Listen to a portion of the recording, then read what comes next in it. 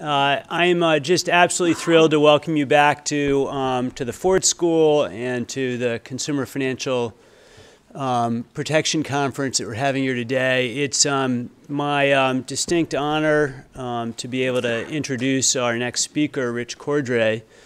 Um, in this uh, particular uh, venue and, and many others, Rich does not really need an introduction, but I'm going to do so anyway.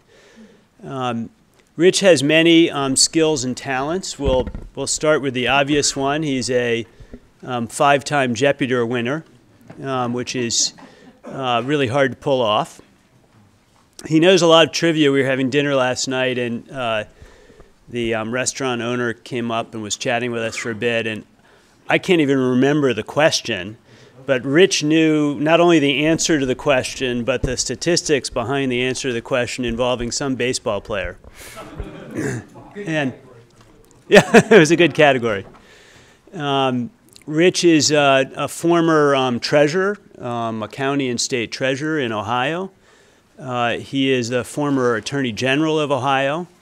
Uh, Rich was one of the um, uh, first people, really, in the country um, to call out uh, the abuses that were happening uh, on the ground um, in subprime mortgage lending. Um, uh, Mike was talking in the earlier panel about the voices from the field that were um, calling out what was going wrong. Mike was out uh, talking about the subprime mortgage crisis uh, with evidence from North Carolina. Um, Rich was calling out the problems from Ohio um, really around the country, there are a lot of voices um, uh, calling out these problems, but Rich uh, not only called them out, but was working to try and correct those abuses on the ground um, in the lead up to the financial crisis and after. And um, Rich then uh, uh came into um, the federal government, uh, became the CFPB's uh, first enforcement director. Uh, and then, um, after a, uh, a long, uh, involved process um, in the Senate, uh, became the first uh, director, the inaugural director of the CFPB. I should say um, the process was long and involved. It was uh, very partisan at first in Rich's confirmation. Um, but at the end of the day, uh, overwhelmingly um, approved um, Rich on a bipartisan basis, having seen the work he did um, at the CFPB. And I think it's a real testament um, to Rich's uh, even keeled manner um, and ability to get stuff done, to deliver results uh, for American households. Uh, Rich did a phenomenal job uh, with the handoff from Elizabeth Warren, building a uh, incredibly strong and vibrant um, Consumer Financial Protection Bureau. It is not easy to build anything from scratch, um, not easy at all. It is really hard to build a new federal agency. Um, and uh, I think it's a real testament um, to, uh, to Rich and to many people in this room who worked with Rich um, that that agency was not only built but um, thrived. And I think you can see that in the way in which the CFPB acted under his uh, leadership uh, in enforcement and supervision and rule writing.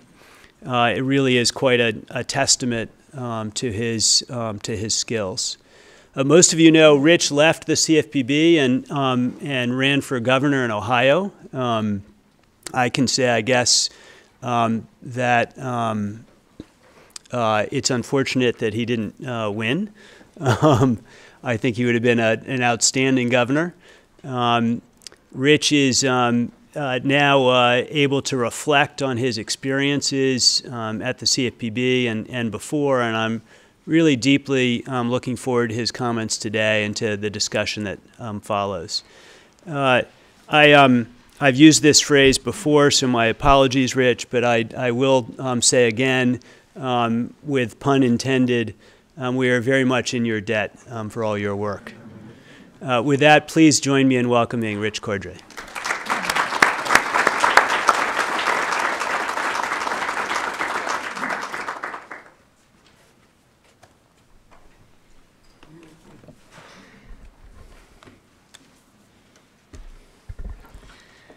Thank you, Michael, to, and to everyone uh, involved in organizing this conference. Uh, it has been peculiarly well done, uh, and we all thank you. And I also uh, appreciate very much the theme of the conference, uh, which is uh, consumer protection in an age of uncertainty, which I think is exactly right. And I'm honored to be here too with what seems to be a distinguished group of consumer law mavens and have some trepidation about the question and answer session, but we'll do the best uh, we can. The notion of consumer protection in an age of uncertainty seems right to me, most of all because right now we're in the middle of an administration whose commitment to consumer protection seems questionable at best.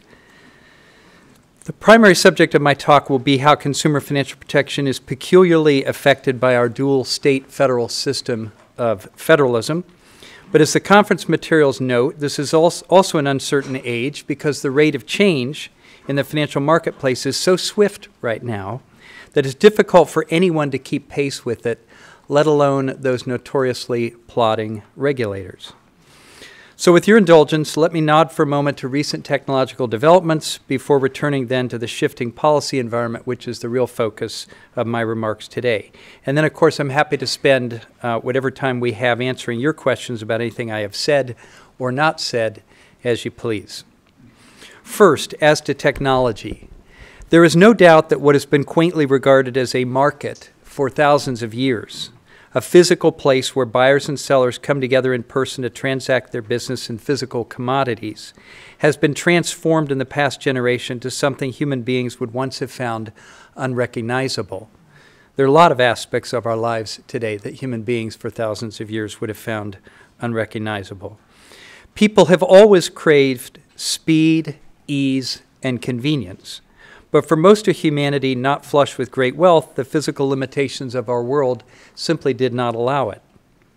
We thought we were reaching unprecedented new levels of human commerce in the past century or two with mass production, the automobile, and instantaneous communication by telegraph and telephone. But nothing before it can compare to life in the computer age, where our physical limitations are literally melting away and online commerce, built on the mysterious power of big data, is solving the logistics and reducing the costs of speed, ease, and convenience. And the result is to make them increasingly available to the broad consumer public. It also presents a Schumpeterian moment when many moats and walls that previously protected stodgy rent seekers in the marketplace are starting to be torn down. So, hip hip hooray, right? In many respects, yes, but not entirely. Along with its benefits, 21st century consumerism also presents new dangers.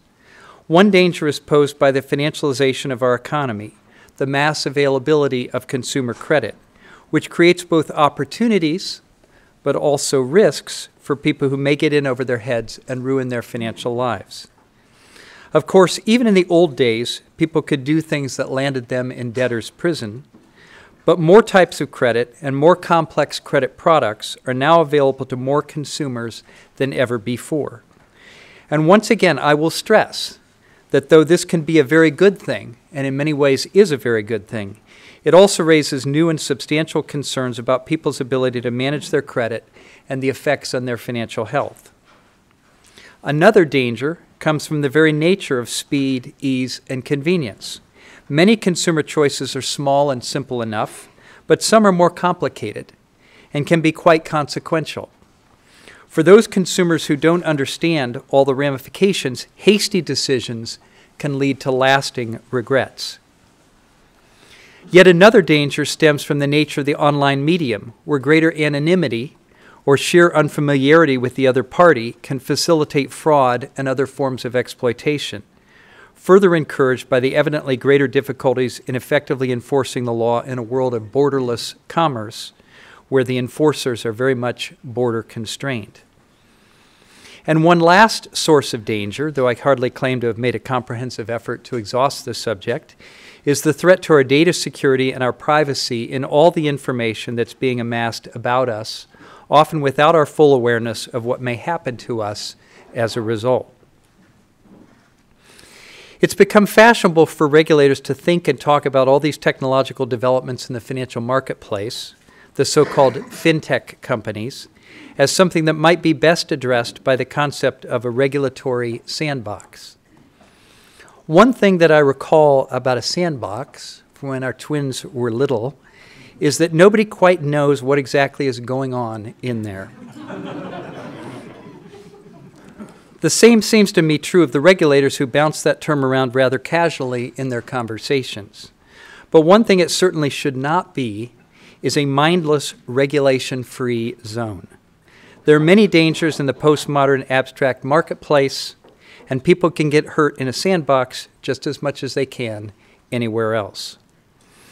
So that's as much as I'm planning to say in these brief remarks about technology, although if you want to return to that in the questions, I'm happy to talk some more.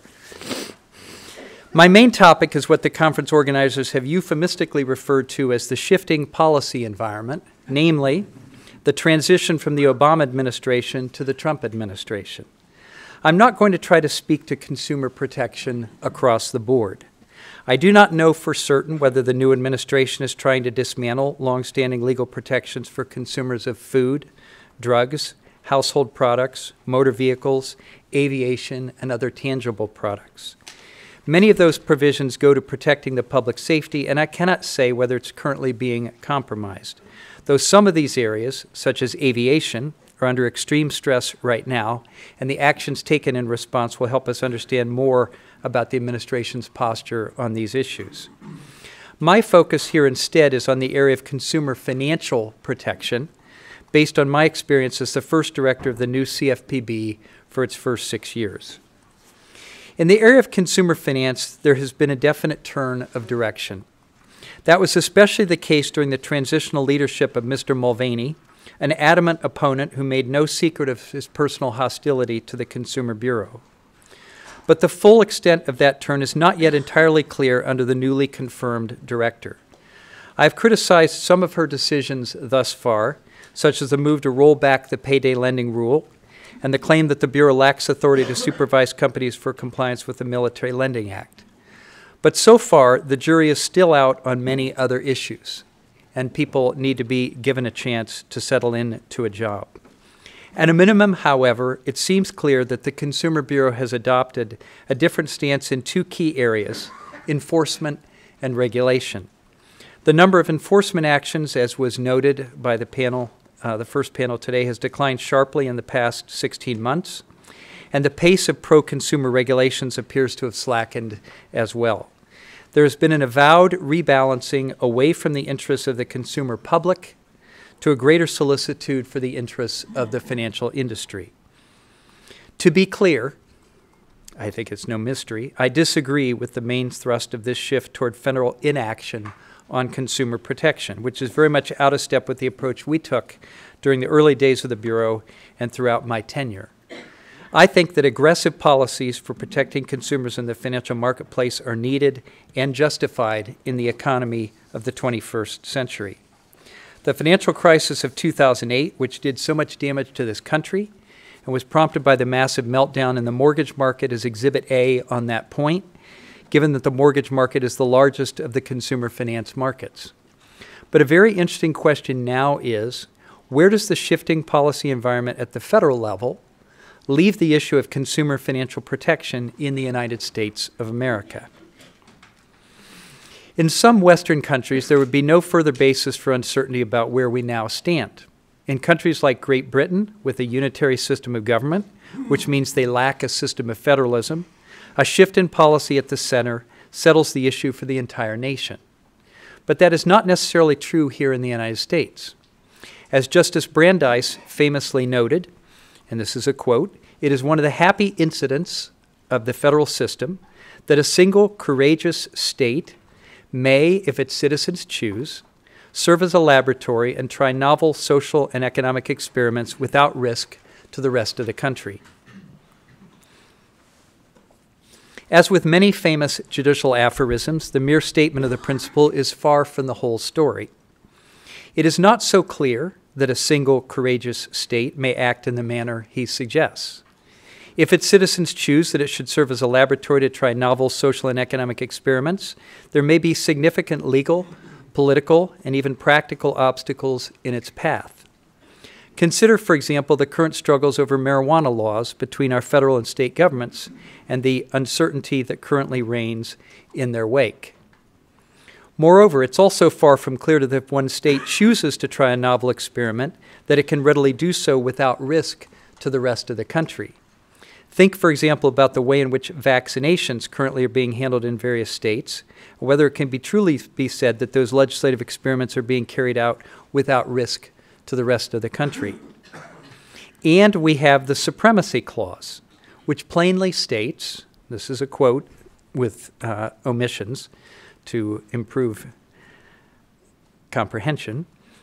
The Constitution and the laws of the United States, which shall be made in pursuance thereof, shall be the supreme law of the land. Anything in the Constitution or laws of any state to the contrary, notwithstanding.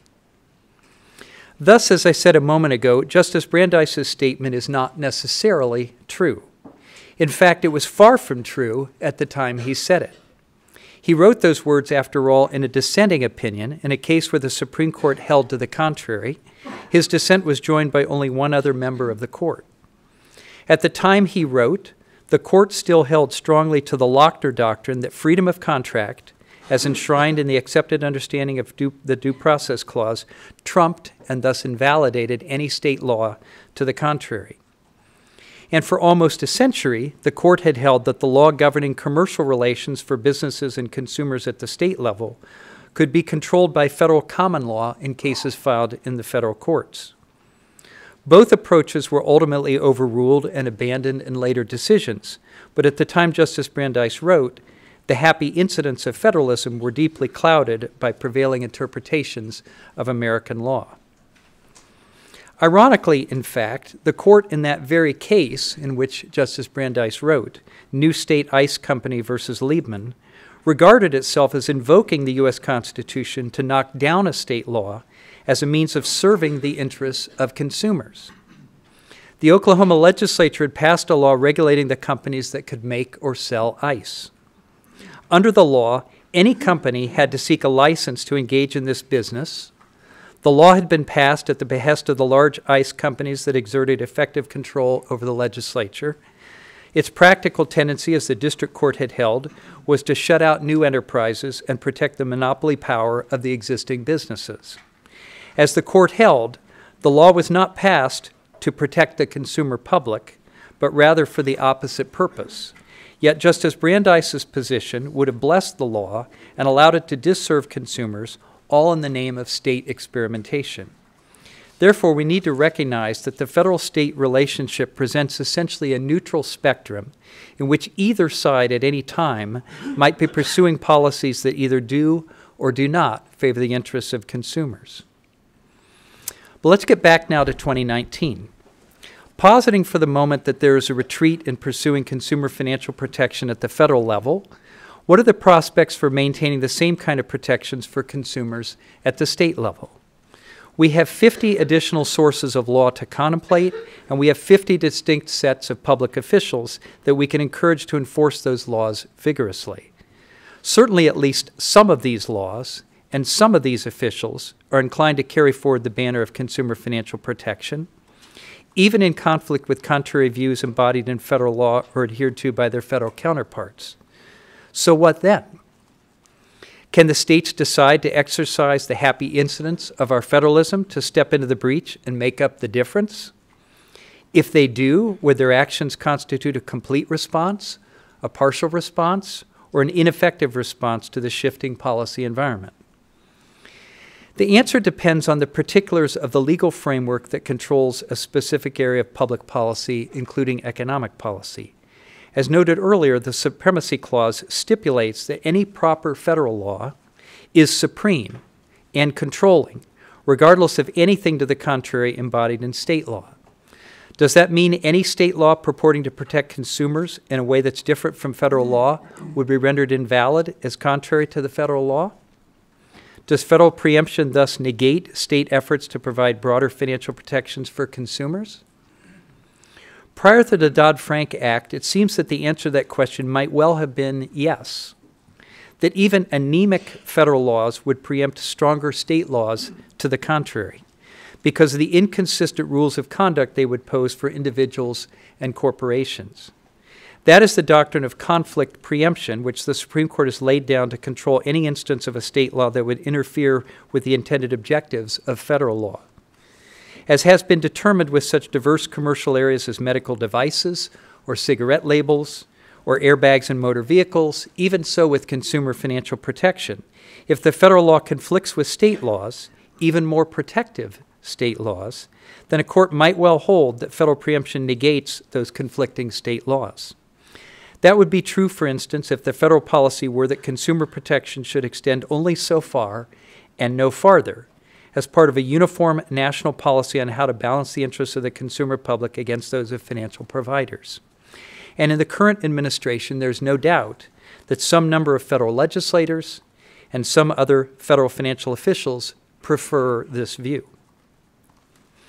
Another potential problem is that federal officials in a shifting policy environment might decide that they no longer have the same zeal to enforce the law as was shown previously. In the field of consumer financial protection, a shorthand phrasing of this view might be whether federal officials should push the envelope, that's a quote, in advancing consumer protections in the financial marketplace. Mr. Mulvaney stated explicitly that he believed I had done so, that such an approach was undesirable or even improper, and he made clear that he would not do so during his interim tenure. On traditional theories of dual federalism, it was up to federal officials to enforce federal law. State officials were authorized to enforce state law, and never the twain shall meet. Hence, a voluntary pullback in enforcement at the federal level was dispositive of the continued efficacy of federal law, at least while those federal officials remained in position to impose their views and if federal officials could thus effectively undermine the force of the federal laws while also claiming to preempt state laws protecting consumers, then the depressing result would appear to be checkmate. But interestingly, the Dodd Frank Act imposed important changes in the federal state landscape that governs consumer financial protection in particular. And let me here take a moment and, as, a, as a point of uh, personal privilege and say a number of the people who were involved in drafting the Dodd Frank Act are in this room today. And I need to state publicly how much I am thankful to them for the excellent job they did in drafting that statute. People give us credit for having set up the CFPB and started a federal agency from scratch, and that was a big job, no question about it. But to conceive what the agency would be and to conceptualize that and implement it in legislation to state and scope out the powers and authorities and how it would all fit together was a momentous task as well. And they did it very well. When people would ask me from time to time what other powers and authorities we were lacking that we needed at the Consumer Bureau, there was little or nothing that we could uh, say uh, that we were missing from that statute. The one complaint I do have is the auto dealer carve out, but that was not the drafters of the legislation, but rather the legislators themselves uh, who imposed that uh, due to political compromise. Uh, but what I want to focus here on is not the drafting this, of the Dodd Frank Act in terms of the CFPB's power and authorities, but its drafting as it affected the law in this broader context of uh, federalism. So, again, what are the changes that it made in the federal state landscape that govern consumer financial protection? What a way to understand the point is to conceive of these measures as default rules. Ultimately, the controlling view on federal preemption always lies with the Congress, at least within its proper role of enacting legislation that does square with the U.S. Constitution. But the Constitution itself does not dictate whether a state law can or should run contrary to a federal law. That's a determination that Congress has the authority to, to make in the first place. Of course, the courts have a subordinate authority to determine preemption issues in any area where they must construe the congressional intent. But if the Congress speaks clearly, then that is the end of the matter. The Dodd Frank Act changed the default rule on preemption in a crucial way. Section 1041A1 of Title 10 which addresses the legislative issue concerning sources of law, said as to the issue of federal preemption as follows A little bit of bracketing here to make it readable. The Consumer Financial Protection Act may not be construed as annulling, altering, or affecting or exempting any person from complying with the statutes, regulations, orders, or interpretations in effect in any state, except to the extent that any such provisions of law is inconsistent with the provisions of this act. Thus far, this is just a restatement of federal preemption theory, uh, that if state laws are inconsistent with the federal law, uh, they, they cannot be uh, uh pursued. But subsection A2 works a distinct change by saying, quote, for purposes of this subsection, a statute, regulation, order, interpretation in effect in any state is not inconsistent with the provisions of this act if the protection that such statute, regulation, order, interpretation affords to consumers is greater than the protection provided under this act. This is a telltale provision, and it's notable because it effectively speaks in the language of rights. To explain this, let me make an analogy to doctrines of state constitutional law. That's a subject that I used to teach. It's been long established that the rights guaranteed under the U.S. Constitution are distinct from the rights guaranteed under state constitutions. For more than a century, prior to the incorporation of federal rights against the states under the Due Process Clause of the 14th Amendment, this conceptual point was basically irrelevant because there could be no conflict between a right guaranteed against the federal government and a right guaranteed against the state government. That was the holding in Barron versus Baltimore, City of Baltimore in the early 19th century. The U.S. Constitution created and constrained the federal government. State constitutions created and constrained the state governments. These sets of rights operated wholly independently, and their intersection was a null set. But after the incorporation doctrine was broadly adopted in the middle of the last century, you could have the same types of rights protected against state officials free speech rights, religious rights, search and seizure rights, so on, under both the federal and state constitutions. Often the language of the two documents is precisely or essentially the same. Yet it has been settled for many decades that there could be independent construction of these same substantive constitutional rights, and where they clash, the resolution of that clash is governed by a one way ratchet.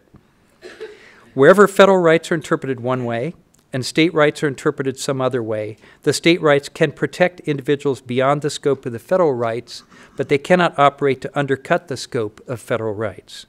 Put differently, and more simply, as was stated on the panel this morning, the federal constitutional rights are a floor but not a ceiling of consumer protection, uh, constitutional protection against the actions of state officials in that uh, setting.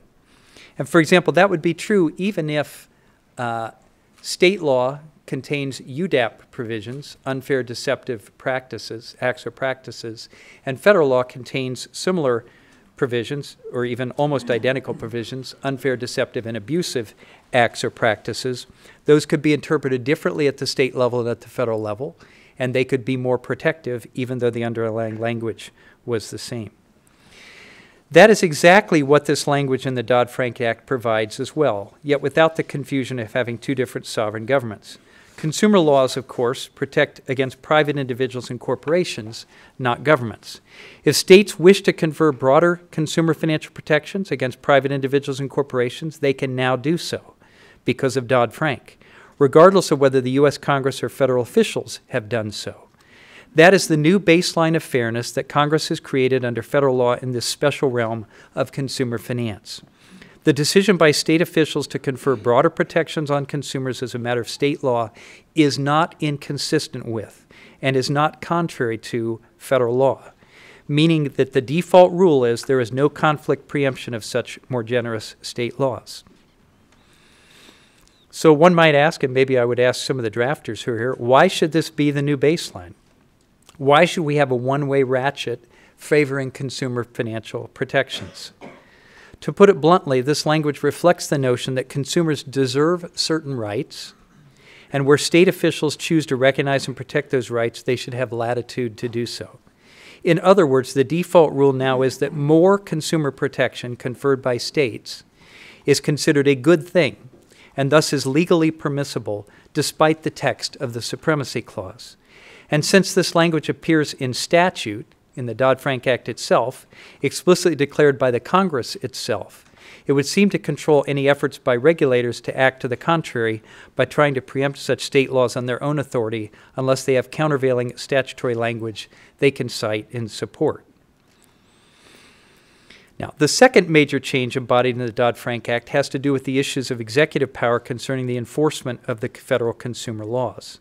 Section 1042A essentially says, and I'm paraphrasing some complicated language here, that in any state, either the top legal official or the top financial regulator can take action in a federal or state venue to enforce the provisions of the Consumer Financial Protection Act and its implementing regulations against anyone who violates the Act or such regulations, and to secure remedies for any such violations as provided by law. The lone exception is for nationally chartered banks, but even they can be subject to an action by the state's top legal official for violating not the act itself, but its implementing regulations. This was the Congress's considered response, or maybe something of a political compromise, to the Supreme Court's surprisingly pro state holding in the Cuomo versus Clearinghouse case. Now, that's a bit complicated and it merits several observations. First, this seems like a fairly novel form of federalism. Apparently, it's not unprecedented uh, but novel, which authorizes state officials to take the initiative to enforce federal law directly. Why would Congress do that?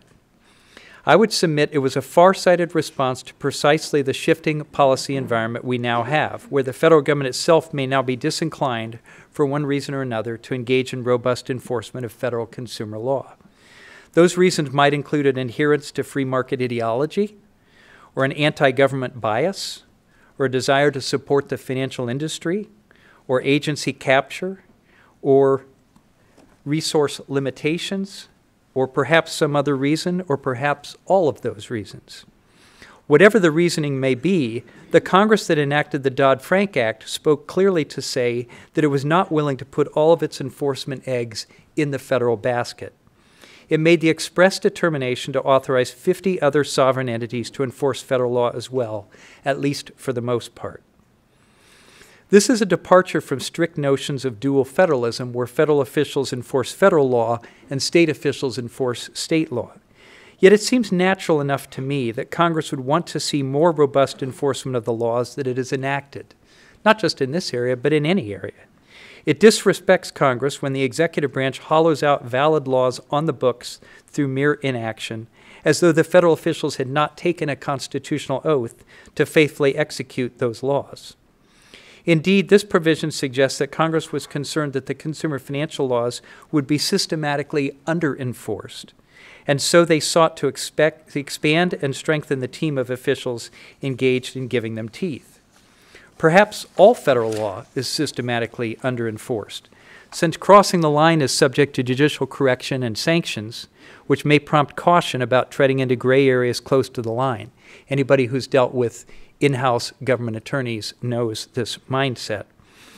Or because limited resources and unlimited problems simply lead to an inevitably futile game of catch up where regulators and law enforcement officers never quite feel that they're winning. However, all of that may be, what we now have is an enhanced system of federalism applicable to consumer financial protection under the Dodd Frank Act. State officials now have more tools and more resources than ever before. This reflects Congress's embrace of the importance of protecting consumer rights in the financial marketplace. Now, one or more of you consumer law experts might want to ask me, what about Section 1044 of the Dodd Frank Act? I'm cutting you off. I'm not giving you the chance. Which further governs preemption issues involving the OCC under the National Bank Act, and which by itself contains no fewer than seven subsections and nine sub-subsections. This is the point at which I might throw up my hands and say that these are issues for the courts to decide. Indeed, Congress may even have executed a classic punt here after what I recall was a fierce fight about whether to incorporate the murky preemption holding in the Barnett Bank case about when state laws substantially interfere with federal law, a debate in which we might say that perhaps not a single member of Congress would have clearly understood what the final resting point was and what the meaning of Section 1044 actually was for national bank preemption. But I will say a couple things here, even about this obscure section. First, it does not apply to any of the non bank financial companies, thousands and thousands of companies, who are treated under the pro consumer default rules laid out earlier. Second, it only applies to nationally chartered banks themselves, defined very narrowly to exclude even their affiliates and subsidiaries, which is no doubt creating a bit of uh, reorganization in some of those uh, entities.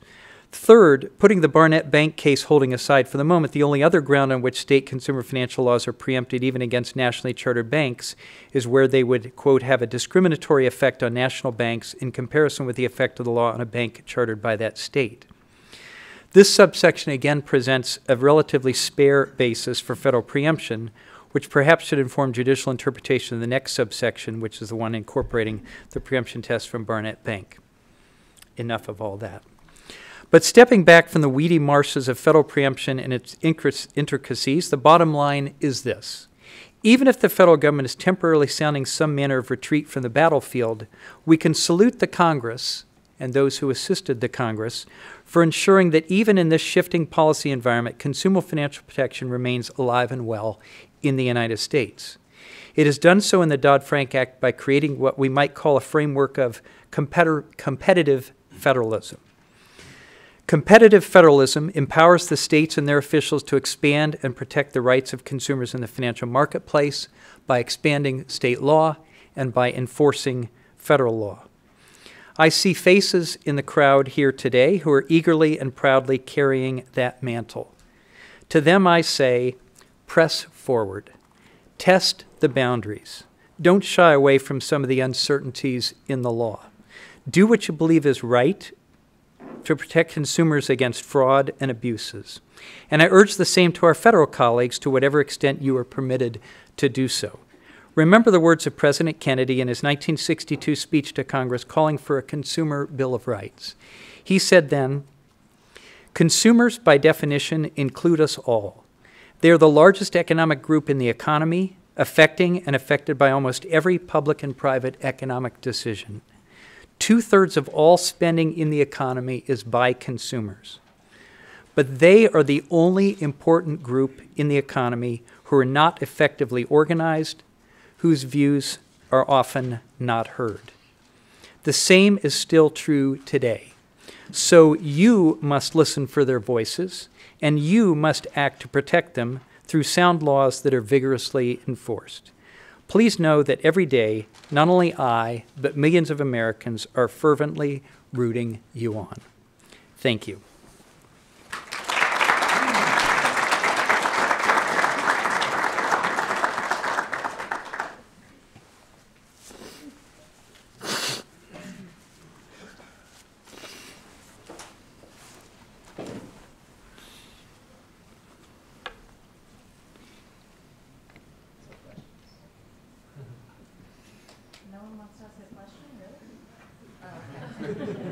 There's always one.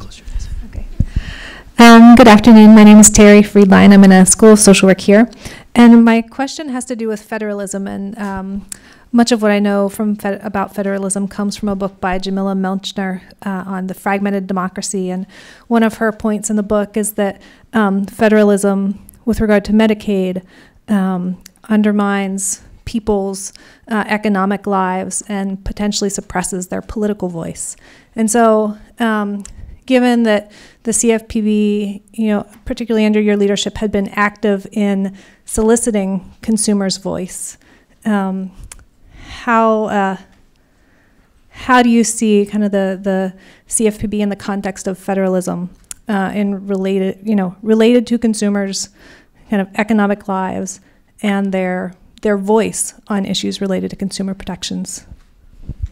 So this is the point I tried to make about uh, Justice Brandeis and his dissent in the New State ICE uh, case, uh, which is that federalism itself is, is a framework and it is a structure and it is therefore sort of neutral as to whether we're achieving good or bad ends. A lot of people would say that federalism in the United States for years was uh, detrimental in the sense that it was holding back the whole civil rights movement uh, in this country, and there's no question that that was true. Uh, and what it does is it, pre- it presents and, and provides for competing sources of authority, competing sources of power, uh, and power can be used for good or for ill. And, and the same is true uh, in consumer protection, and the same is true in, in every other area of law. The other point that I was trying to make is federalism is itself a concept that has very complicated and diverse applications in different areas of law and different areas of practical experience uh, and can look very different from, from one place to another depending on, uh, again, situations on the ground, what the legal framework is. It can differ from one area to another. As I said, it's quite favorable to uh, protecting rights uh, in uh, state constitutional law. It's quite favorable to protecting rights now under the Dodd-Frank Act in consumer financial protection. Uh, may not be so true of consumer protection generally in the more tangible realms, and certainly is not necessarily true in other areas of the law, such as, as you mentioned.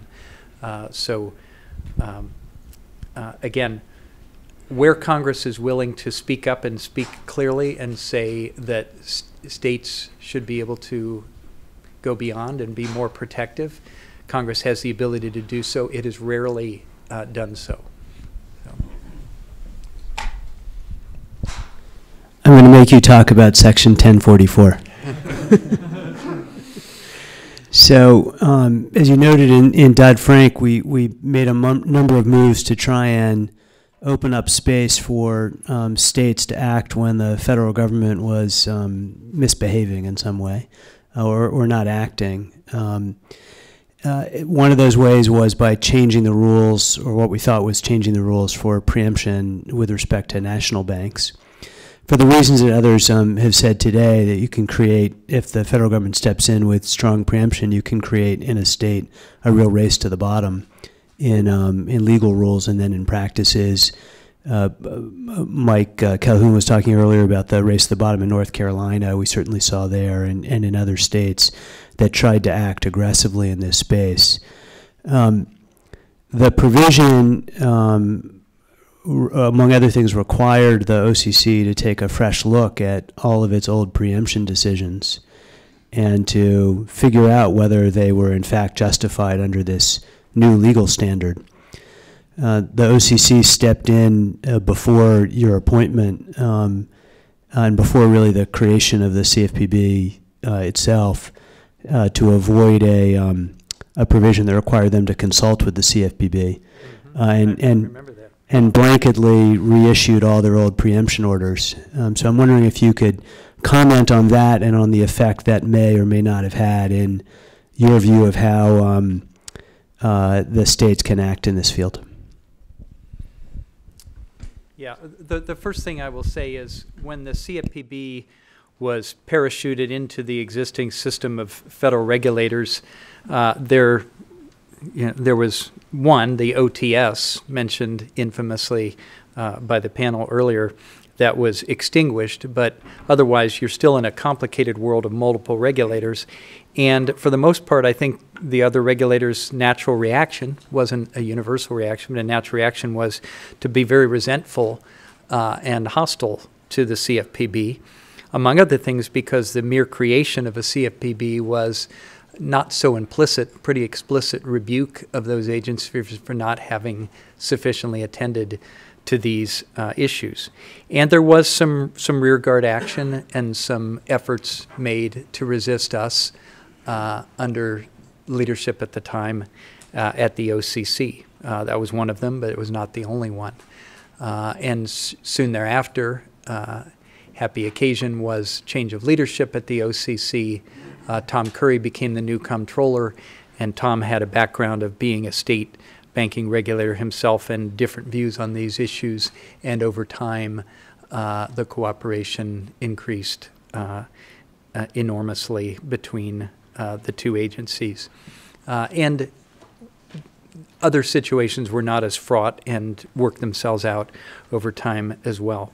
Uh, in terms of where we stand right now, in terms of National Bank Act preemption of the states, uh, my guess is as good as yours, maybe not as good as yours.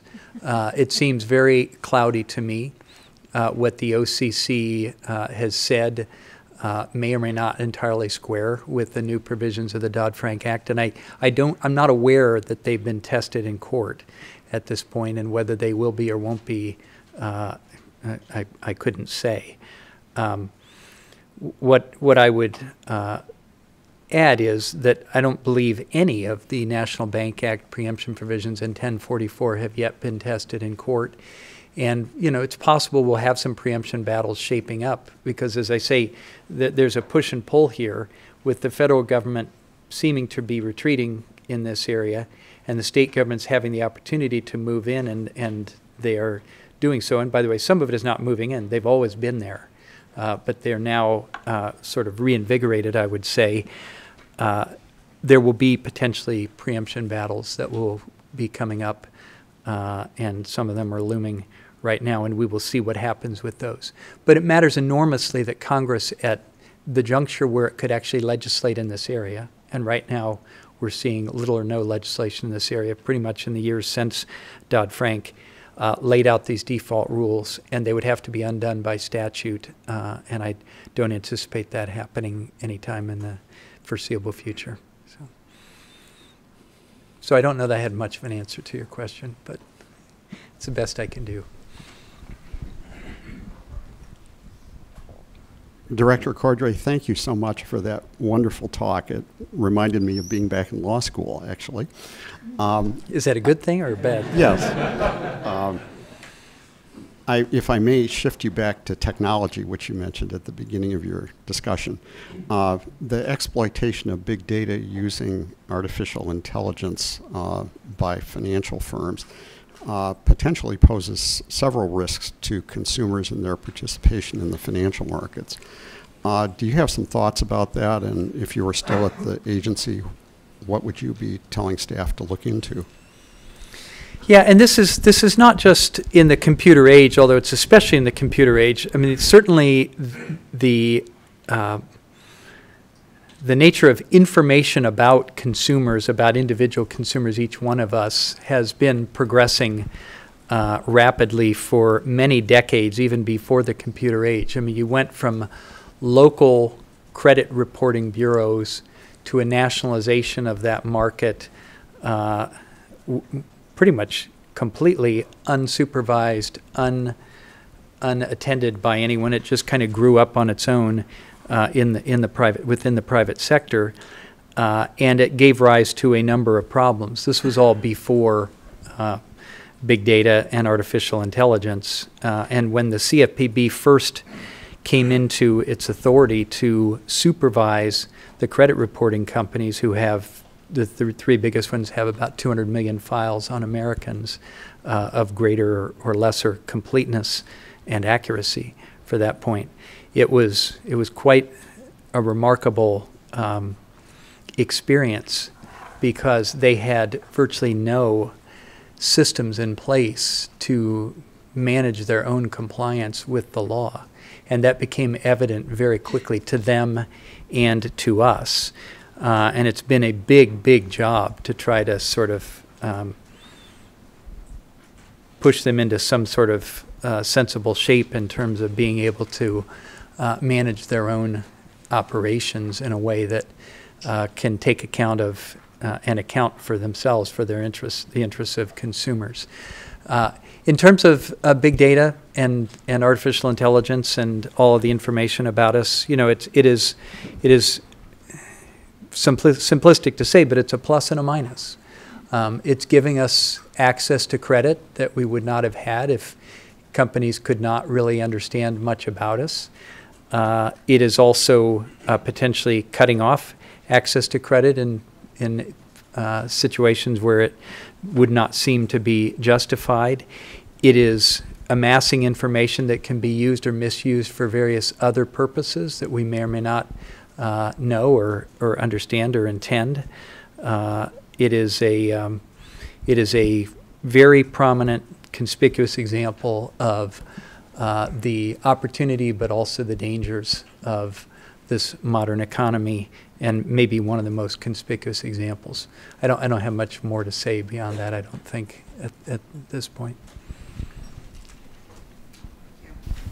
Um, Hi, Mr. Cordray. First of all, thank you so much for being here. Really appreciate your time. Um, my name is Avril Prakash. I'm a, a dual MBA MPP student, and I appreciate your focus um, on the federalism lens. But I was hoping to um, kind of expand and for you to talk maybe about some uh, best practices that we could learn from other settings, from other international um, firms and uh, situations uh, that could probably add to the process. I'm in Professor Adrienne Harris's class on fintech, and today we're talking about how the U.S. system, or at least our laws, are quite um, negative. You know, they try to restrict and create like um, uh, boundaries versus in the Europe you see more uh, positive um, uh, legal framework. So I was hoping you could talk about some best practices in other uh, regions that maybe we could glean here that could um, enhance hopefully the situation. It's, it's a really good question, and it's something that we puzzled over quite a lot at the Consumer Bureau, and I'm sure they still do. Uh, the nature of compliance with the law is that it is a sort of negative enterprise. Uh, it is, there's a threshold below which you cannot sink. If you do sink below that threshold, you are in violation of the law. You're subject to sanctions, you're subject to penalties, you're subject to actions.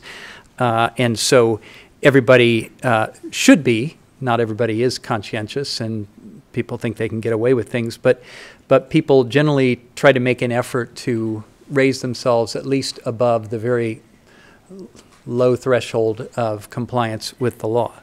Now, there's much that we'd like to see out of companies and much that consumers would like uh, that would go well above that standard. I mean, nothing in the law says you have to have excellent or even decent customer service, but consumers want that. This is the way in which the marketplace itself competes companies against one another to raise their game well above just the mandatory minimum uh, legal threshold. And one of the one of the puzzles that we worked worked on and uh, with you know incomplete results is what can an agency, a federal agency, do to try to encourage companies to get well above the bare minimum. I mean, at, at, at, at a first step, uh, you know, you're trying to encourage them to get out of the gray area right around the threshold of, of bare legal compliance because they could could fall below the line. So you, so any sensible company will try to push itself a ways above the very the very bottom baseline. Uh, but beyond that, uh, it is, and, and this is where we puzzled over the one of the objectives in the Dodd-Frank Act for us. One of the purposes was that we were supposed to foster, work to foster innovation in financial services. How do you do that as a government agency? Isn't that something that's done in the private sector? Companies compete against each other, and if they have build a better mousetrap, they collect, you know, many or most of the consumers in their market and gain market share. Uh, what on earth do we have to do with any of that other than trying to stay out of the way? Uh, and that was one of the things that we thought a lot about. And we worked with a lot of the fintech providers to one of the things we recognized over time was that there's an overhang of lack of clarity about the law that can discourage and, and cause people to be very cautious about trying new things, even things that might be very pro consumer, if they aren't sure that those things will be looked upon uh, uh, as potentially violating the law. And where we could try to provide that clarity, we did try to. Inevitably, any issue like that is a very hard issue often a very complicated issue, and you want to be cautious about working it through as the regulator because you don't want to suddenly bless something and then find that you missed uh, something significant about it and you're blessing something that's actually harming consumers. But it, then again, uh, there's a tendency to um, not want to give any guidance at all, which is not very helpful to people either. So this is something we struggled with. Uh, and I'm, I'm, we were very interested and remain interested to see what's happening overseas on this. The UK uh, has the financial sandbox. We were actually ahead of them in doing some work on this, but uh, uh, they they have uh, gone into this in a big way. There's no question in my mind that in London they see this as an effort toward economic development. They're trying to bring more fintech to England, so they're trying to lure them. This is one of the dangers of a competitive policy of this type is you can lure people by, um, by lowering your standards, uh, or you can lure people by providing them with, with better service yourself. And there's some of both going on, I think, around the world. Uh, and I'm concerned about what the CFPB is proposing because it's not clear to me that uh, it will be sufficiently uh, appreciative of the risks to consumers uh, in, in this segment. But it's, it's, a, it's a difficult chicken egg problem of uh, how much emphasis do you put on either side of that equation? And again, as a factual matter, are you getting it right or getting it wrong? Um, and I don't have answers to the financial sandbox other than to say that I'm, I'm a little concerned about a blunderbuss approach that simply says companies can do whatever they want uh, because they have the label fintech. Uh, that's, that's very evidently, in my mind, not the right answer. Uh, and, and I think we don't know exactly what risks that will, that will create, but they'll be significant. And I also don't, I, I have my doubts as to whether that will be uh, a legally permissible result, uh, if that's the result that people are seeking to reach.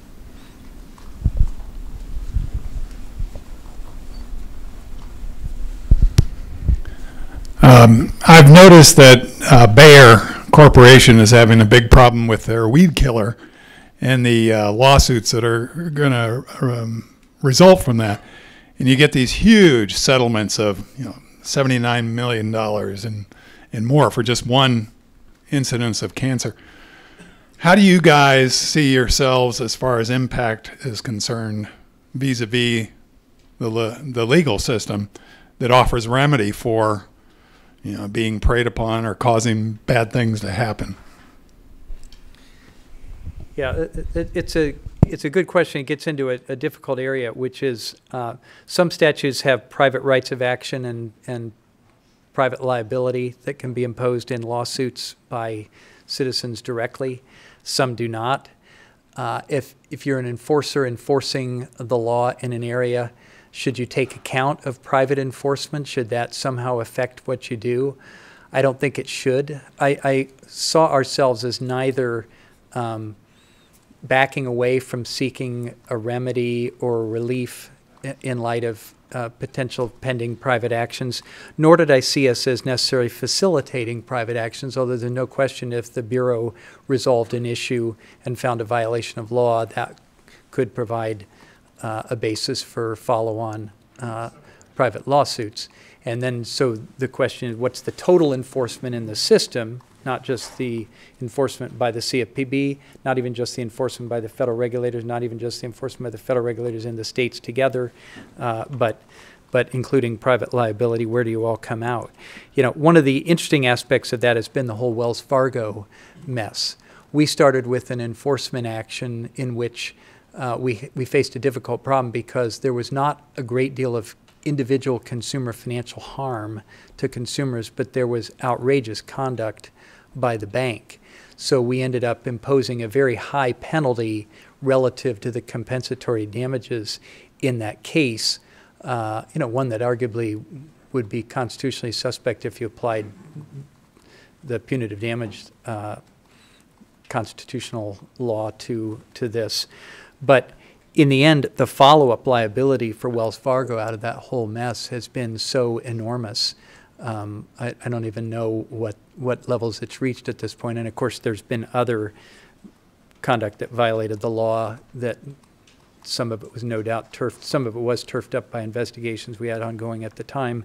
Some of it likely has been turfed up by the remarkable amount of attention paid to Wells Fargo in the wake of that uh, enforcement action. Uh, and, and where it all uh, will end is, is, hard to say. Um, but it's, it's a good question. It's, it's a hard question. But I think that what we simply tried to do was take each matter before us on its merits and address it in light of the facts and the law that we had and didn't otherwise trouble ourselves too much with what else was going on in the universe. Now, we did try to work together with others so that we could try to um, create a coherent package of of uh, enforcement. For example, we work constantly with the states and, and with multi-states, and we would strategize together, even if we weren't acting together in the litigation, try to strategize together about uh, what we were doing and why. Uh, and I think that that can be helpful. But there's no doubt a fair amount of uncoordination in our system if you look at total law enforcement as a whole, including private uh, actions, which the government, of course, can't control other than by Congress deciding whether to allow them or not allow them, and, and the, the stipulations for how those lawsuits can proceed.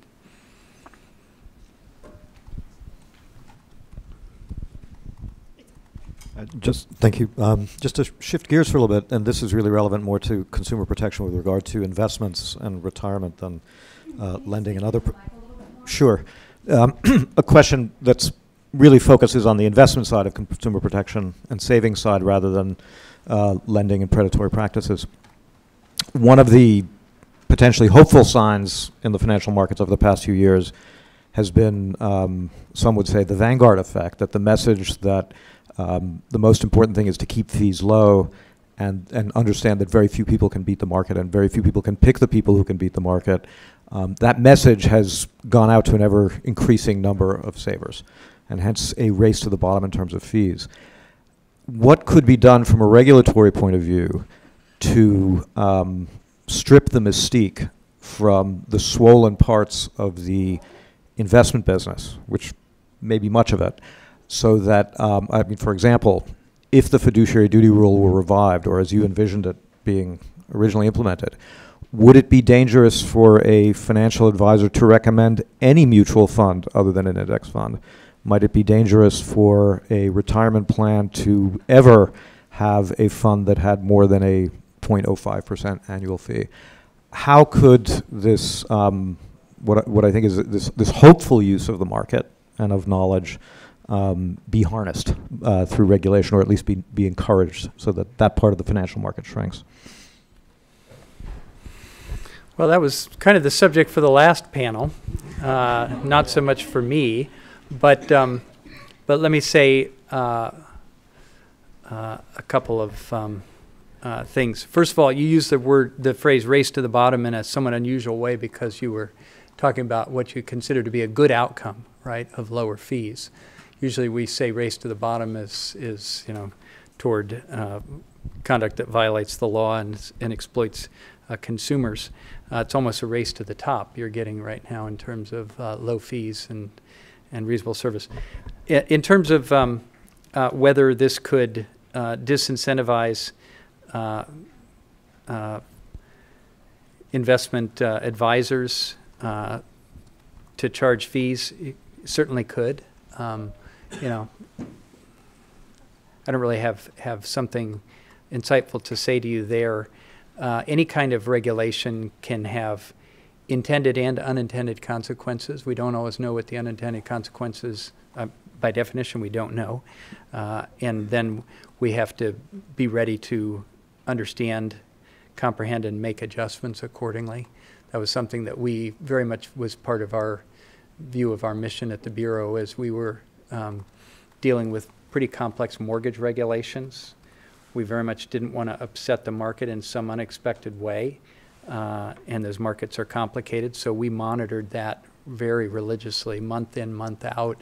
And we often, several times, we ended up adjusting those rules, even though it ate up bandwidth that we could have gone on and done other things and gotten some of the other rulemakings done uh, earlier. But we thought that was important to do. Um, uh, I, I guess I'm just going to leave it. I, I'm not an expert on the uh, investor uh, market, uh, but uh, I, I was a I was a fan of the uh, fiduciary rule, and it's sorry to see it set aside at this point. But you know, there'll be the, these things will come and go. There will be further legislation on these issues. It was mentioned earlier the arbitration rule that we adopted, uh, that was overturned by Congress. Uh, there will come a time when the Congress will legislate on that issue, and they'll legislate a lot more broadly than just consumer financial protection. Would be my uh, guess on that.